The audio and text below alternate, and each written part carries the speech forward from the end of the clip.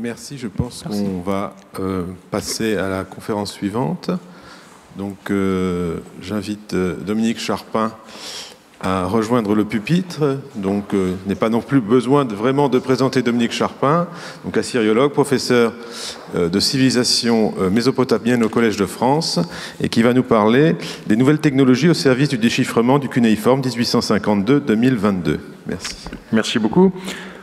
Lorsqu'il est face à un texte écrit en signe cunéiforme, comment le spécialiste travaille-t-il? L'opération de déchiffrement mobilise différents éléments. Tout d'abord, sa vue, mais aussi sa mémoire, qui au fil des années emmagasine de nombreuses informations. C'est ainsi que, devant une tablette bien conservée et avec un certain entraînement, un assyriologue peut très vite donner la date et le genre du texte qu'il a devant lui. Mais ça ne suffit pas. Si bonne que soit sa mémoire, elle ne peut faire face à un corpus qui compte des centaines de milliers de documents. Ce chiffre s'explique par le support de l'écriture cunéiforme dans ses usages quotidiens, à savoir l'argile. Celle-ci ne craint ni l'eau ni le feu, et cela explique pourquoi chaque année des centaines de nouvelles tablettes sont exhumées. Je me limiterai à deux cas. Il y a quelques semaines, l'équipe internationale qui a repris la fouille d'Our depuis 2015 dans le sud de l'Irak et à laquelle j'appartiens, trouvait notamment un bol contenant une douzaine de tablettes datant de la troisième dynastie d'Our, au XXIe siècle avant notre ère, et documentant les activités d'un bureau de construction. Autre exemple, la fouille d'un site sur le Tigre qui avait été englouti par les eaux d'un lac de barrage il y a 40 ans. Eh bien, en raison de la sécheresse, le niveau du lac a baissé et la fouille du site a mis au jour cinq jarres contenant au total plus de 200 tablettes assyriennes du XIIIe siècle, parfaitement bien conservées, malgré leur long séjour sous l'eau, et le fait que, comme la plupart des tablettes, c'était simplement de l'argile séchée et non pas cuite. Je voudrais montrer comment les nouvelles technologies peuvent être, et de fait sont, mises au service du déchiffrement du cunéiforme, en n'oubliant pas que ce fut le cas dès les origines de la sériologie. Je commencerai par la question de la reproduction des originaux avant de passer à l'examen des bases de données sans lesquelles aujourd'hui on ne peut plus travailler. Par rapport à la plupart des écritures, le cunéiforme pose un problème spécifique car il s'agit d'une écriture tridimensionnelle. Les signes sont en effet obtenus en appuyant sur la surface d'une tablette d'argile molle un roseau taillé. Le résultat, c'est que les signes sont gravés en creux, comme le montre cet exercice de débutant. Une tablette cunéiforme a donc une certaine épaisseur et l'écriture en occupe non seulement la face et le revers, mais également les tranches. D'où une évidente difficulté à reproduire les originaux sur du papier en deux dimensions. Lorsque les premières tablettes issues de la bibliothèque d'Assurbanipal à Ninive sont arrivées au British Museum en 1851, les responsables se sont posé la question de leur mode de reproduction de façon à permettre d'accélérer le processus du déchiffrement de la langue assyrienne qui était alors loin d'être achevé. Il fallait que les nouveaux textes deviennent accessibles au plus grand nombre de personnes compétentes. C'est ainsi qu'on eut recours à une découverte récente, révolutionnaire, la photographie. Les 300 premières tablettes de Kuyunjik, la partie du site de Ninive où elles avaient été retrouvées, furent donc photographiées par Roger Fenton en 1852 et les responsables du British Museum envoyèrent des albums photos aux principaux savants, dont Jules à Paris. La plupart de ces photos se trouvent aujourd'hui reproduites sur le site du British Museum, mais sans aucune métadonnée. Elles ont parfois été recadrées, leur reproduction est parfois de qualité médiocre. Il se trouve que l'assyriologue français Louis Delaporte posséda un de ces albums dont les planches ont été récemment numérisées. J'en ai entrepris l'étude détaillée dans un travail à paraître. Mais on comprit rapidement que cette méthode n'était pas viable, la diffusion des tirages était forcément limitée à quelques savants, à une époque où la photogravure, la photogravure n'avait pas encore été inventée, d'où la nécessité de trouver d'autres moyens de reproduction. La solution de l'impression s'imposa, non sans susciter des débats. Deux techniques pouvaient alors être utilisées, la lithographie ou la typographie. Et Jules Moll euh, écrivait à propos du livre qui publiait en 1851 les inscriptions cunéiformes découvertes par Layard, je cite, Il est peut-être à regretter qu'on se soit servi pour cette publication de caractères d'impression au lieu de gravure ou de lithographie, car quand il s'agit de caractères compliqués et encore imparfaitement connus, on est toujours exposé à négliger ou à exagérer de petites différences entre les caractères et à régulariser les formes au détriment du fond. Dimitri Mex euh, euh, souscrit, je le vois, au premier rang euh, à ce jugement. Voilà qui était bien formulé en effet. Dix ans plus tard, le premier volume consacré au texte cunéiforme du British Museum, publié sous la direction de Rawlinson, utilisa la lithographie fidèle à la forme des signes des originaux. Mais les quatre volumes suivants revinrent à la typographie qui normalise les signes d'écriture. On sait qu'en France, l'imprimerie nationale eut euh, aussi des fontes cunéiformes, utilisées notamment pour l'impression des textes de Ninive découverts par Botta, dont il a été question hier. Par la suite, les copies faites à la main, ce qu'on appelle les autographies, s'imposèrent. On peut en gros distinguer deux écoles selon que l'on privilégie la lisibilité de la copie ou la fidélité à l'original. Bien entendu, la copie suppose que le copiste soit un assyriologue qui comprend ce qu'il copie, et tous les assyriologues n'ont pas le même don pour le dessin. Récemment, une tablette d'une collection privée publiée par le regretté Wilfred Lambert a été retrouvé et le conservateur s'est amusé à comparer la photo et la copie en les superposant et on constate la distorsion de la copie qui a surtout orthogonalisé un texte qui était en fait beaucoup moins régulier. Le bouleversement euh, qui a été opéré dans le domaine de la photographie a été introduit par une technique consistant à vaporiser du chlorure d'ammonium. Une couche blanche se dépose à la surface de la tablette sans entrer dans le creux des signes cunéiformes. Et donc, ça a l'avantage de les faire ressortir en augmentant le contraste, comme le montrent ces deux photos de la même tablette de Tel Beidar, prises avant et après la vaporisation de chlorure d'ammonium. David Owen s'est fait le chantre de cette technique, dont il n'est toutefois pas l'inventeur, et c'est celle-là qui a été utilisée par l'équipe des épigraphistes de Marie à partir de 1982. Il n'existait pas mieux à l'époque. Et on trouve désormais des milliers de clichés de ce type, des euh, tablettes des archives royales de Marie, sur le site Archibab. Des esprits chagrins ont regretté que sur ce type de clichés, les couleurs disparaissent. Ici, il faut être clair, les couleurs n'ont aucune importance pour l'étude des tablettes. On connaît même des cas où deux fragments ayant été exposés à des atmosphères différentes, réductrices ou oxydantes au moment de l'incendie du bâtiment où ils se trouvaient, sont l'un orangé et l'autre noir, et pourtant ils recollent. La révolution numérique a joué en matière de photographie de deux manières. D'abord, dans l'impression des livres, la technique de la photogravure coûtait très cher, le nombre de photos était donc limité, d'où le recours à la copie qui, elle, euh, est reproduite euh, au trait. Aujourd'hui, texte, dessin au trait ou photo en niveau de gris coûtent exactement le même prix. Par ailleurs, le développement des sites Internet a permis de créer des répertoires de photos numériques. Le site du CDLI, créé en 2000 par le regretté Bob Englund, a été pionnier dans ce domaine. Il portait d'abord sur les tablettes cunéiformes les plus archaïques, et peu à peu, le site a augmenté son périmètre et ambitionne désormais de couvrir la totalité de la documentation. Cependant, les techniques de prise de vue ont évolué ces dernières années.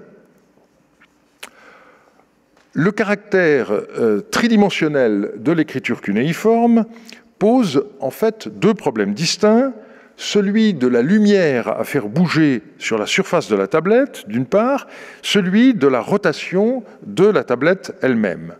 Plusieurs techniques ont été développées ces dernières années pour les résoudre. Je n'ai pas le temps de les évoquer toutes, mais, euh, et encore moins de rentrer dans les détails. Une des réalisations les plus célèbres est le dôme développé par Karel van Lerberg et son équipe à l'université de Leuven à partir de 2011. Il exploite la technique dite RTI, imagerie par transformation de la réflectance. Son avantage est le caractère euh, portable de la machine, qui se replie dans une valise, et aussi la taille limitée des fichiers produits. Le travail sur les images numériques obtenues permet d'obtenir des facsimilés qui ressemblent à des copies traditionnelles. Plus récemment, on a travaillé sur de véritables scanners 3D. Cela permet de faire tourner virtuellement une tablette euh, sur l'écran d'un ordinateur. Mais comme une vidéo dans un PowerPoint se termine une fois sur trois par un crash, je n'ai pas voulu introduire euh, de euh, démonstration et donc je vous prie de me croire sur parole. Vous pourrez trouver sur Internet facilement euh, des exemples. Cette technique a euh, l'avantage de permettre également des photos traditionnelles qu'on croirait avoir été prises avec vaporisation de chlorure d'ammonium. Eh bien, celle que vous avez à l'écran, euh, c'est une photo prise en fait par un, scanner 3D et ensuite on traite l'image de façon à obtenir euh, une photographie de ce genre. Et la collection Hilprecht de l'Université de Jena est actuellement photographiée avec cette technique. Ces nouvelles techniques permettent euh, de reprendre à frais nouveaux des recherches qui préoccupent les assyriologues euh, depuis longtemps, celles qui portent sur la paléographie. Il s'agit à la fois d'évaluer euh, l'évolution du cunéiforme à travers les siècles, mais peut-être encore davantage de distinguer à la même époque des mains de scribes différentes. Alors il y a eu euh, entre 2000 et 2004 euh, un projet à l'université de Birmingham, mais qui n'a malheureusement pas abouti euh, parce que, comme il arrive parfois, les pionniers se heurtent à des difficultés que les progrès de la technologie ne permettent de surmonter que plus tard. Mais plus récemment, un groupe d'assyriologues s'est constitué, qui a déjà publié deux recueils d'études, et les initiatives se multiplient tout récemment. Cependant, il ne faudrait pas croire que les copies sont devenues inutiles. Il y a une façon de faire qui ne me semble pas très intéressante, elle consiste à utiliser une tablette graphique pour décalquer des photos. Là où la copie est avant tout nécessaire, c'est quand on déchiffre des originaux sur le terrain. Souvent, le premier nettoyage qu'on effectue euh, n'est encore que préliminaire et c'est en copiant qu'on se rend compte qu'à tel ou tel endroit, un nettoyage plus poussé permet de lire davantage, tout simplement parce qu'il y a une interaction entre l'œil, la main et le cerveau, et euh, copier évite euh, une lecture trop rapide, parfois erronée ou incomplète. Je passe maintenant aux bases de données, en commençant par souligner le fait que le problème principal de la sériologie, c'est à la fois la masse des données et leur état fragmentaire. Pendant longtemps, comme tant d'autres de ses collègues, la syriologue a vécu sous le régime du fichier personnel. Les choses ont désormais bien changé.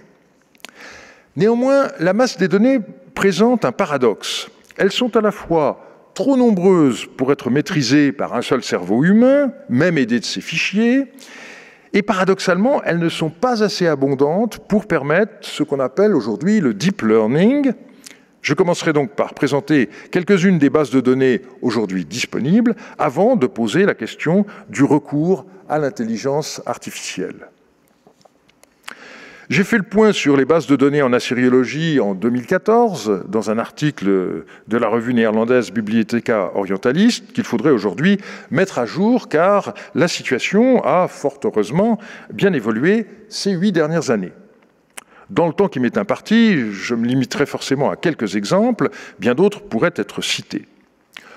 Un des pionniers a été le BDTNS, un site espagnol dirigé par Manuel Molina et qui est consacré aux archives, euh, aux textes d'archives sumériens de la fin du troisième millénaire. Le projet a débuté en 1996, le site en ligne a été ouvert en 2002.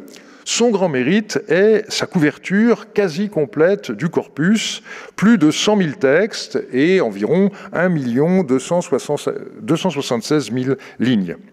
En revanche, on relève deux faiblesses. Le très petit nombre de métadonnées, par exemple, le genre du texte n'est pas indiqué, il n'y a pas de traduction ni même de résumé, et également l'absence de lématisation, ce qui fait qu'on ne peut faire de recherche que sur des chaînes de caractères.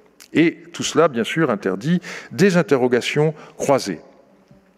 En marge de la création du dictionnaire électronique euh, de sumérien de Pennsylvanie, Steve Tinney a créé un site qu'il dirige désormais avec le concours d'autres collègues qui s'appelle ORAC. Il s'agit d'une sorte de consortium avec des sites séparés en fonction du genre et des époques mais là encore, le souci premier est celui de philologues avant tout intéressés par la constitution de corpus électroniques de textes dans lesquels on puisse retrouver toutes les attestations d'un mot ou d'un nom. Or, une base de données permet de faire beaucoup plus, et c'est ce que nous avons essayé de faire avec Archibab depuis 2008. Ce site est consacré aux textes d'archives paléo-babyloniens, ils sont certes moins nombreux que leurs équivalents à l'époque de la troisième dynastie d'Our, mais sont en moyenne plus longs également. Donc on a actuellement 35 000 signes intégralement publiés, sans parler des milliers qui ont été partiellement cités ou simplement catalogués. Mais on a un corpus qui est beaucoup plus riche et varié que celui de l'époque précédente. En dehors des textes de comptabilité toujours très laconiques, on a plus de 6000 lettres très explicites, des procès détaillés, des contrats dont les objets sont très variés, etc. Et l'avantage d'Archibab, c'est la richesse de ces métadonnées qui permettent de se livrer à des recherches croisées très sophistiquées. J'en ai donné des exemples dans plusieurs articles, je me limiterai à un seul. Si vous êtes euh, historien du droit et que vous vous intéressez aux gages, eh bien vous pouvez vous chercher euh, les attestations ville par ville. Donc vous commencez par euh, définir votre corpus, en l'occurrence les textes découverts dans la ville de Kisura, et puis ensuite vous demandez les mots, les textes qui contiennent le mot gage en babylonien katatum et vous obtenez ce résultat. Grâce à la lématisation, vous avez même accès aux textes dans lesquels le scribe n'a pas loté le mot phonétiquement, mais a utilisé un idéogramme, en l'occurrence Shudua. La base Archibab a été conçue de façon telle que des projets différents puissent utiliser les textes moissonnés. C'est ainsi que le projet de géographie historique IGEOMES, dirigé par Nele Ziegler, a été intégré au site. Il donne notamment accès à toute la bibliographie afférente au toponyme de la base, dont il offre la synthèse, ainsi qu'à de nombreuses cartes. Nous sommes actuellement à la veille d'une refonte complète d'Archibab. La base a désormais 14 ans et ne correspond pas exactement aux standards actuels de pérennité et d'interopérabilité. L'archibab du futur, actuellement en préparation, devrait être encore plus rapide, puissant et durable. Et si certains d'entre vous ont des suggestions pour le financement de cette transition, je serai bien entendu très heureux de les recevoir. La question de l'intelligence artificielle s'est d'abord focalisée sur la question de la traduction automatique. Des essais ont été effectués récemment pour les textes administratifs néo-sumériens par un projet de l'Université de Toronto. Ça n'a peut-être pas autant d'intérêt qu'il y paraît parce que le problème est avant tout celui de la masse des textes et il demeure en fait identique que les textes soient dans la langue originale, le sumérien, ou traduits en anglais. Plus prometteur me semble le projet lancé récemment par Shai Gordin en vue de la restitution des passages cassés. Bien entendu, plus les textes sont formulaires, moins la machine a des risques de se tromper, et c'est pourquoi les premiers essais portent sur les textes administratifs néo-babyloniens. L'outil informatique en cours de développement, appelé Atrahasis, a été mis en ligne de façon que tous puissent le tester, et il faut espérer que cette approche se révélera fructueuse. Dernier cas que je vais évoquer, celui du site EBL, Electronic Babylonian Literature, développé par Enrique Jiménez à l'Université de Munich depuis 2018. On sait que même les textes les plus célèbres de la littérature babylonienne comportent de nombreuses lacunes. Il manque encore un tiers à l'épopée de Gilgamesh. Et là, c'est la multiplicité des manuscrits d'une même œuvre qui est à la base de la recherche. La question est de savoir comment on peut rattacher les milliers de fragments de tablettes de Ninive à l'œuvre à laquelle ils appartiennent. Et l'idée centrale, c'est qu'une partie du fragment est déjà connue, mais une autre pas, et donc l'identification d'un fragment, si petit soit-il, va contribuer à reconstituer le texte. De nombreux fragments du British Museum ont déjà pu être ainsi recollés et le site Internet sera accessible à tous au printemps prochain et contiendra progressivement des éditions électroniques de toutes les œuvres de la littérature mésopotamienne. Vous l'aurez compris, ce n'est pas parce qu'on s'intéresse aux plus anciens textes de l'humanité qu'il faut travailler à l'ancienne, je dirais même au contraire. Certains assyriologues se glorifient de continuer à faire des copies en se comparant aux moines du Moyen Âge. J'avoue que je ne partage pas ce sentiment. Sans doute, les progrès dus aux nouvelles technologies ne sont-ils pas aussi spectaculaires en assyriologie qu'en archéologie? Ils n'en sont pas moins très substantiels. Mais bien entendu, il faut commencer par apprendre à déchiffrer le cunéiforme, les Parisiens ont la chance de ne pas manquer d'endroits où une telle formation est possible, notamment à l'école du Louvre et à l'école pratique. Je vous remercie de votre attention.